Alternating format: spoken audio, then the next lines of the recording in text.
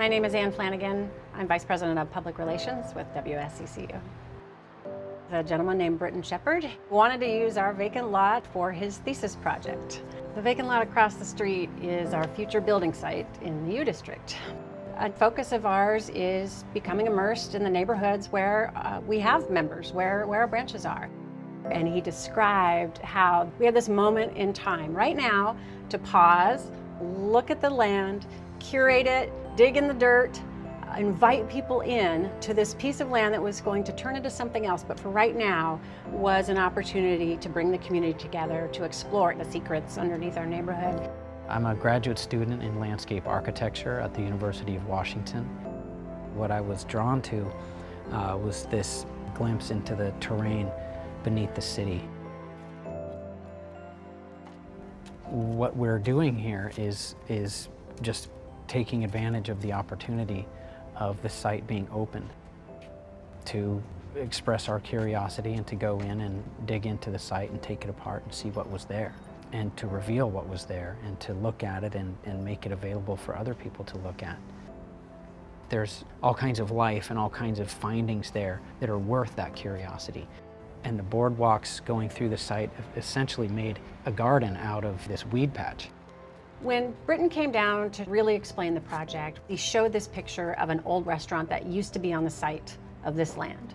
And I think it put into perspective for all of us that this land is changing. And while we are forward thinking about this great new building we're going to build, it has been something and been something and been something to this community for decades. Just one old picture. When you see a picture like that and you can see the place as it is now, it, it definitely closes a gap and, and people feel that.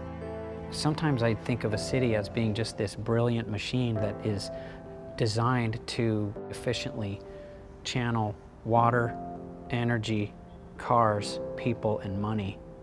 And then the rest of the things that also need to find expression just can't really.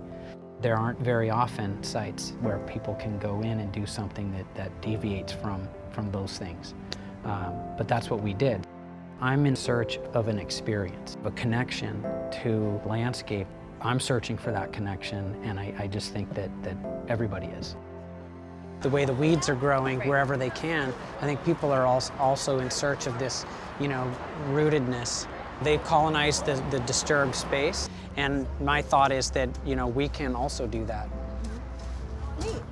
Thank you. You're welcome.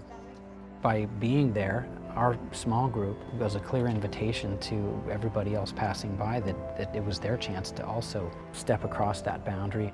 People really enjoyed seeing what was happening and examining and appreciating just the ordinary contents of the site. The items that we found in the soil became really interesting artifacts, especially when arrayed out on the table and, and people came in to look at, at what we had found.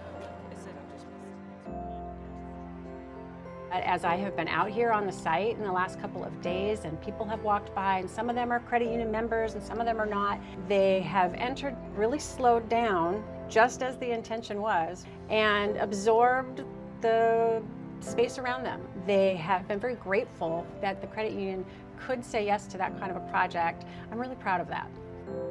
This project tapped into something that was wanting expression. People were drawn in and given a chance to cross a boundary and to slow down and experience something that was off limits before. They're saying, I remember that restaurant that used to be here. I used to walk by here when I was a kid.